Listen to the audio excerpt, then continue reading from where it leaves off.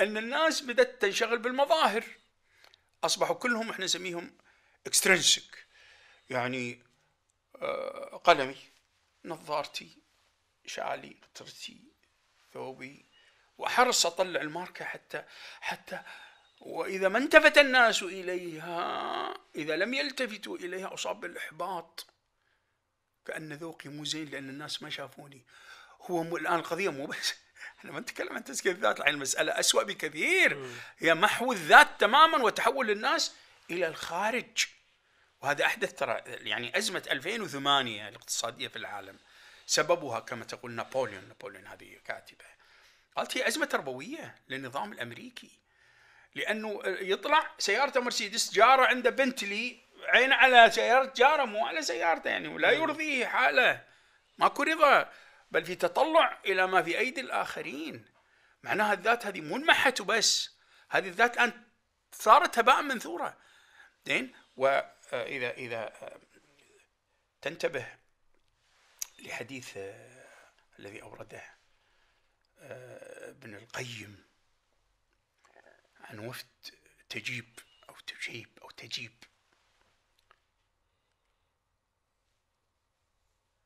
كانوا 11 رجلا وكان معهم صبي. ف أحبهم النبي صلى الله عليه وسلم لأنهم جو جايبين زكاتهم وهم ضعوف فأحبهم صلى الله عليه وسلم.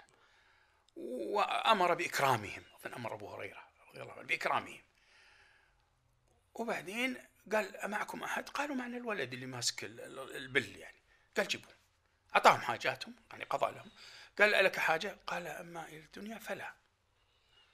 آه، أسأل الله يعني أسأل الله أن اكون رفيقك في الجنة. هذا الظاهر سنة عشرة تسعة هجري. لأن النبي صلى الله عليه وسلم حج في قابل. فجو قال نحن الوفد الذي الذين جئناك آنفا. قال ما فعل الغلام؟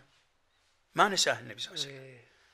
قالوا يا رسول الله يعني هذا ما هو يمنى معنى الحديث. يعني منشغل ومنقطع وكذا وكذا. فقال النبي صلى الله عليه وسلم إني لأسأل الله أن يموت جميعا. أن يموت جميعا. قالوا أوليس الرجل يموت جميعا؟ قال لا. تتفتت أهواله أهواؤه